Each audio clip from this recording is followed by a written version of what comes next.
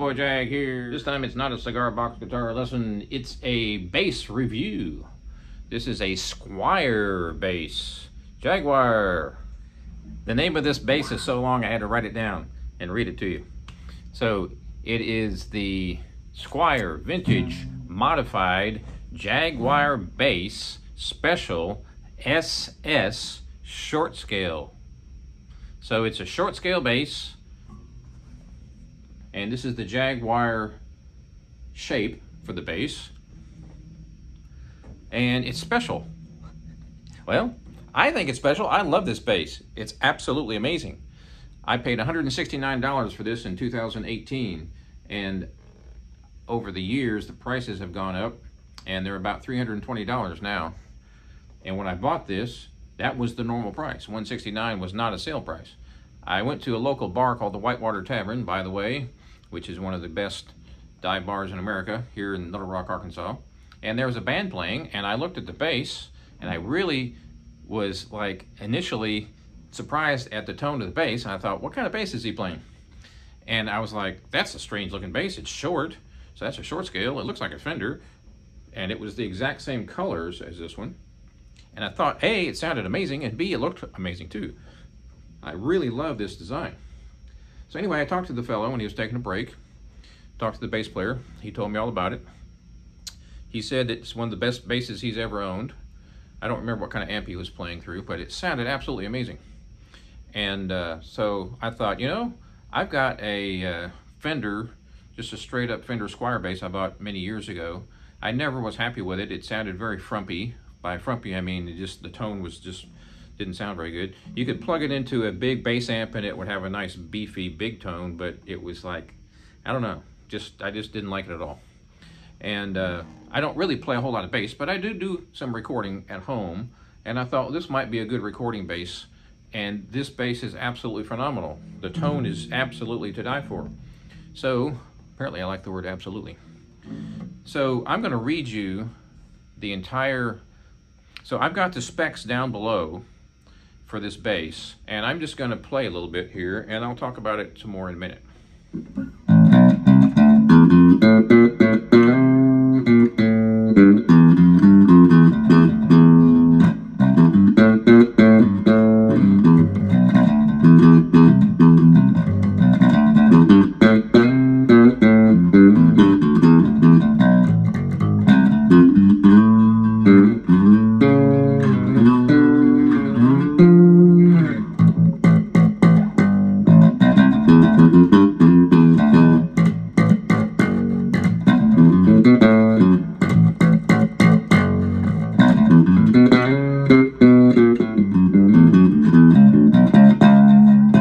Okay,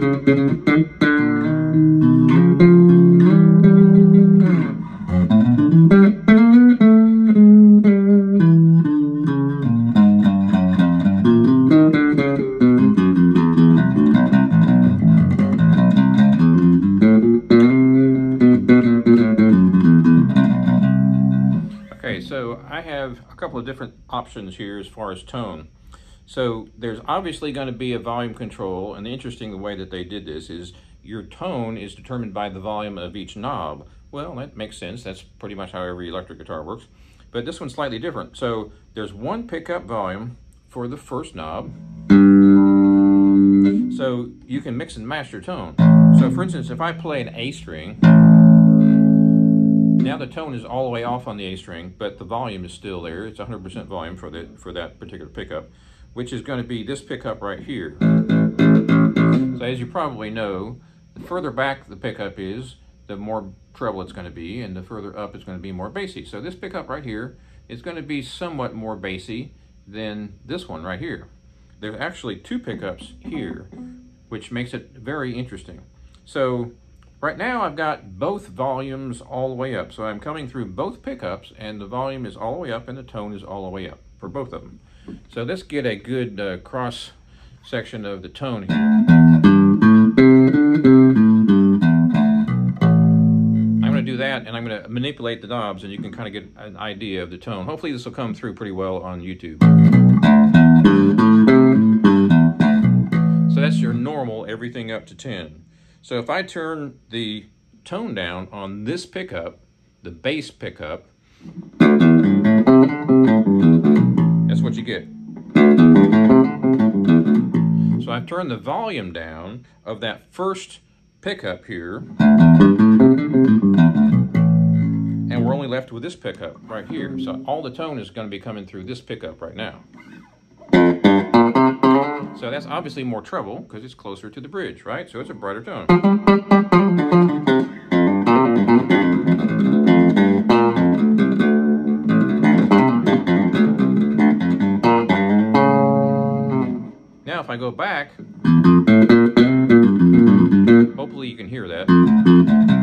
Difference. By the way, I'm not playing through a bass amp, I'm playing through a Cube 10GX, which has an unbelievable tone for bass. It's not designed for bass, but it has great bass response.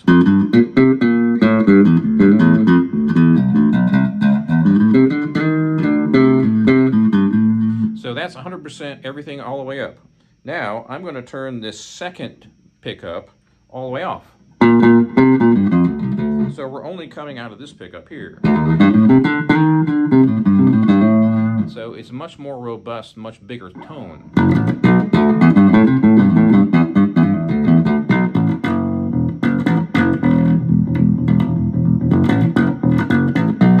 By the way, I'm absolutely astounded at how good this little dinky Cube 10GX sounds with a bass plugged into it. But I digress.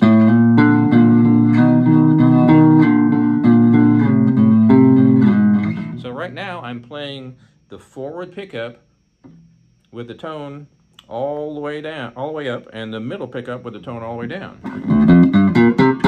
Now I'm going to bring the lower pickup tone all the way up. So here's all the way down tone with the treble pickup, or the bridge pickup.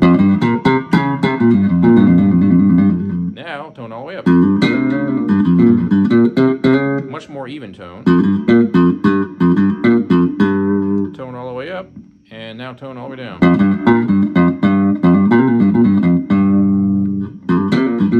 So that's your treble.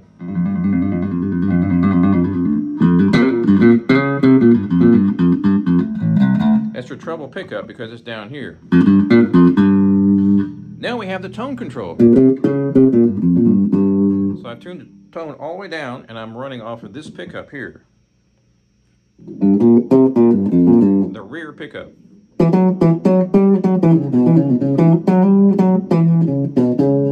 Sounds like an upright bass.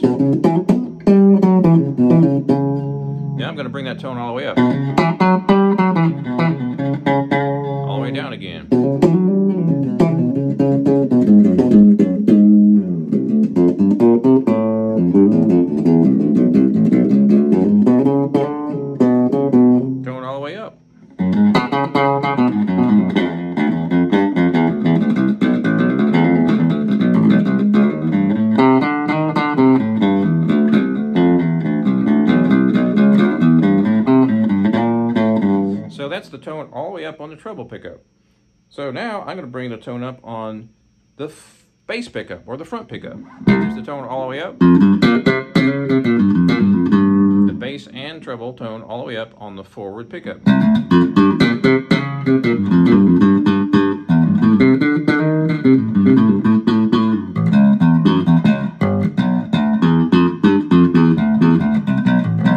Again, folks, I'm not really a bass player, so apologies for. That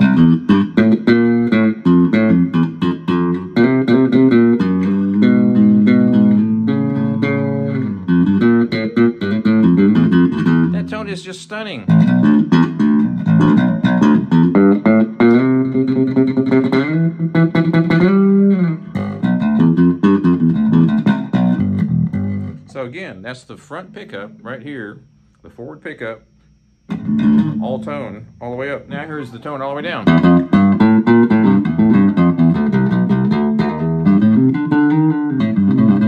Now you may not be able to hear it, but it has a nice round tone, but it's not too bright and it's not too dull either.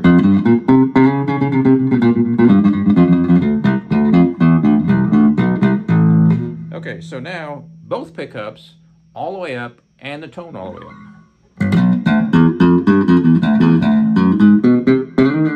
Very even tone. Amazing.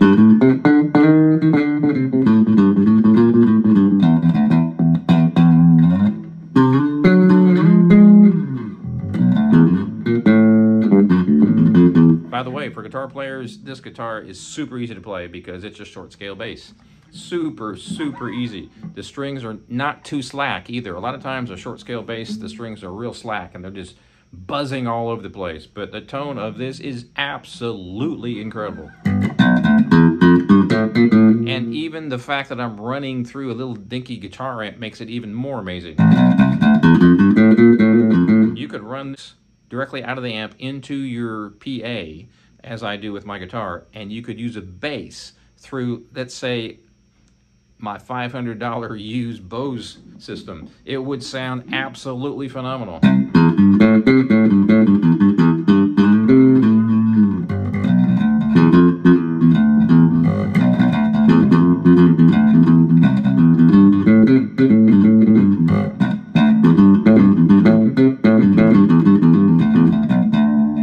All right, so what we have here is a volume for each pickup, volume for the forward pickup, and a volume for the rear pickup, and then you have a tone control. So I'm going to manipulate the tone control. I'm going to have both pickups on 100% and the tone all the way down.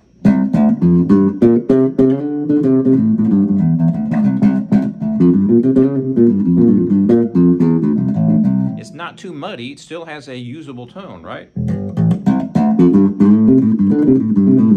That might be something cool that you could use for a low volume gig.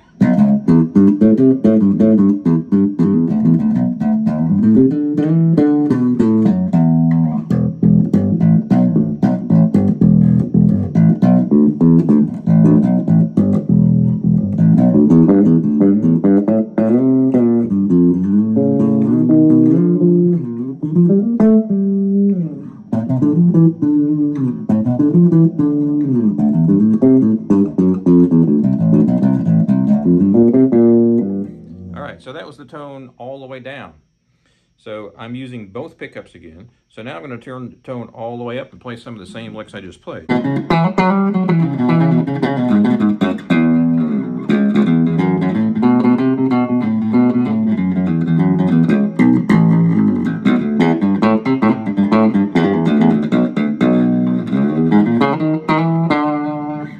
right, so now I'm going to go to the forward pickup, tone all the way down.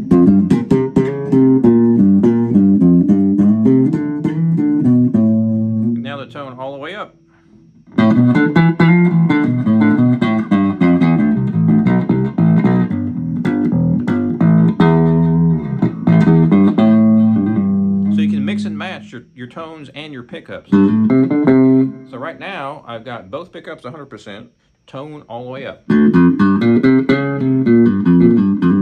Now here's the second pickup down here, halfway off. So the treble is slightly less. You still retain the same tone, right?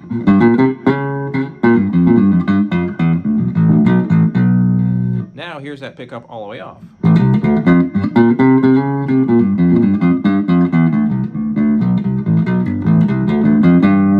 back on.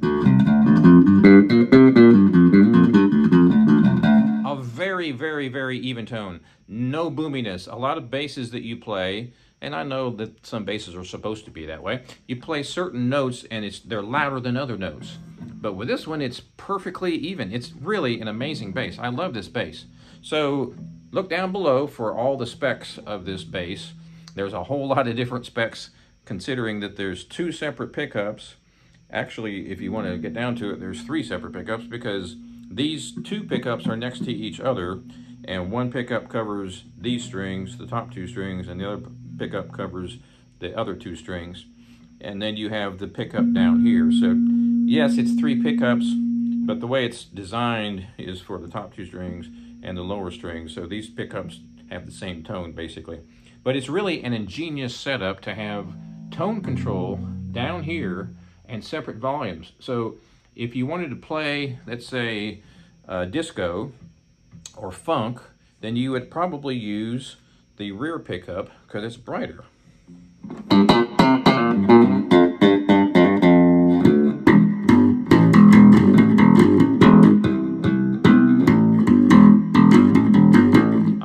Terrible bass thumper, but you get the idea. So that's strictly the rear pickup. Now if I add the front pickup to that, it's the same tone but just fatter, right? It's got more bass to it, but it's the same sound. It doesn't drastically change the sound. Awesome.